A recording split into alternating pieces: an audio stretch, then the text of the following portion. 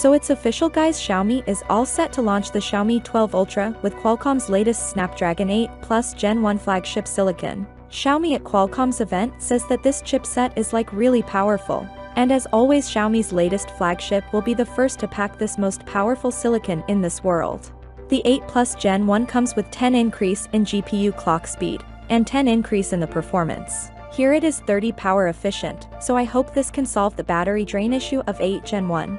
The exciting part is we now have an 18-bit ISP which can shoot at 8K HDR, that is insane.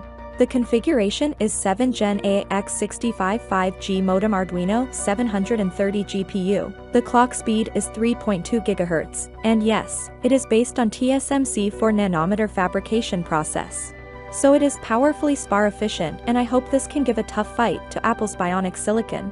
Again Xiaomi is using that chip in the Xiaomi 12 Ultra, and this is the real-life image of Xiaomi 12 Ultra case confirming the final camera design. In these case renders we can see the final finish, so it can be seen this device is gonna be a DSLR killer guys. We are seeing dual periscope lens, a time of flight sensor main super wide, and some supporting sensors.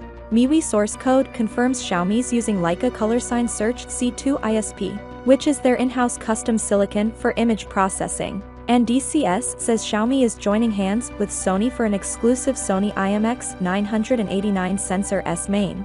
So this setup makes the Xiaomi 12 Ultra on par with the Samsung S22 Ultra. And of course with the 8 Gen 1 Plus Silicon Surge C2 ISP, this no doubt is a monster. Sad part is Xiaomi is not using a second displaced viewfinder which was something special in the Xiaomi 11 Ultra, but it was sort of useless for some and expensive tech too. So fair enough I guess. Xiaomi is planning to launch this flagship in June-July, and it is gonna be an expensive one you guys can expect a similar price check like the Xiaomi 11 Ultra. Make sure to like and subscribe, this all guys thanks so much for watching your thoughts in the comment section below, and I'll meet you guys in the next one, peace out.